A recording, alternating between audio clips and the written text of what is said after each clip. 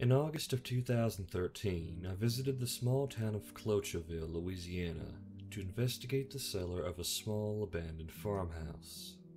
I was drawn to this farmhouse because in 1932 a woman was murdered here, and in 1933 her husband mysteriously vanished. While this situation alone was not of particular interest to me, the story surrounding it captured my attention. The following is the history of the haunted candle of Cloutierville, as I have come to understand it. In 1932, the farmhouse in Cloutierville, Louisiana was owned by Adam and Emily Benoit. Adam was a farmer, a hard man, and not a particularly likable one. Though he did run a successful farm, he was also an alcoholic and spent most of his nights at the local pub. Emily, his wife, was a quiet woman who did not have any social ties and spent all of her time at home, alone. In June of 1932, Emily was found murdered in the cellar of her home.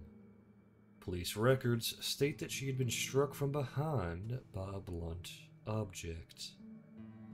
The police were able to determine that she did not die immediately. She had crawled from the place of impact to the back of the cellar. In her outstretched hand was a candle holder, which would have been the only source of light in the dark and dingy cellar. Adam Benoit was listed as a primary suspect, but he had an alibi. He was with his friend that night, at the pub. This friend was a local drunkard with a less than stellar reputation, but nevertheless, Adam's alibi was accepted, and the murder of Emily Benoit to this day remains unsolved. Early in February of 1933, Adam Benoit was reported missing. He had not been seen at the pub for several days, and this was out of the ordinary for the recent widower. Police investigation led to the cellar in which Emily had been murdered. The investigating officer wrote that he heard a man sobbing, but he found the cellar empty. The only sign that anyone had been there was a single candle burning against the back wall. The officer wrote that, upon extinguishing the candle, the sobbing faded. The officer also found the word, alone, had been carved into the wall. The whereabouts of Adam Benoit went unsolved. He was never seen again. The following year, in 1934, the farmhouse was purchased by a man named John Morrell. When he was not seen or heard from for several weeks, police officers once again entered the cellar. They found the very same candle flickering dimly in the shadows.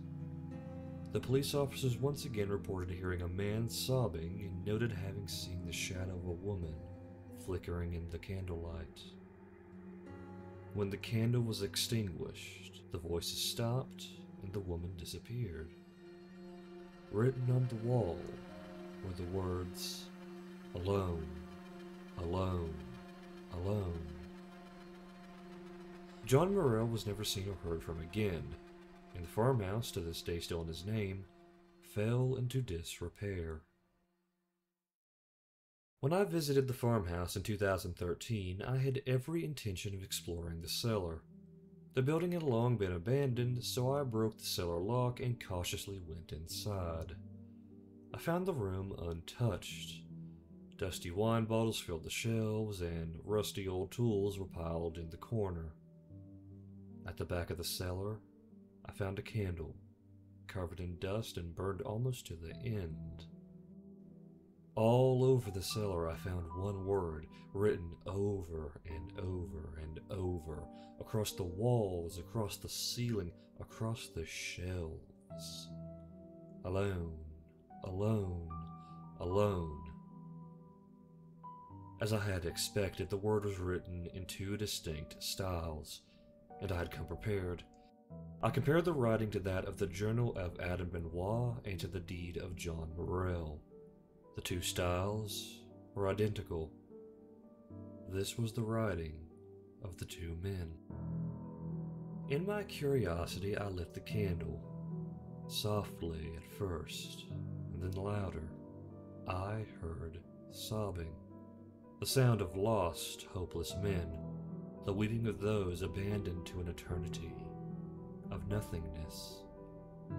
And in the shadows, the figure of a woman slowly drifted into view, dancing towards me. I quickly extinguished the flame and left the cellar. Of course, I brought the candle with me.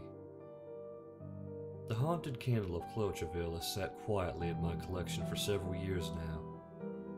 Only once since that day did I light the candle. I was in my attic amongst my collection, and I almost immediately heard the quiet sobbing of the poor souls lost in time. I immediately snuffed out the flame. The next day, carved into a rafter in my attic, I discovered a single word alone. To the person who purchases the haunted candle holder, the item will be meticulously packaged and delivered with a copy of its history. Thank you for reading this tall tale, and I wish you all the best. Sincerely, J.W. Smithworth.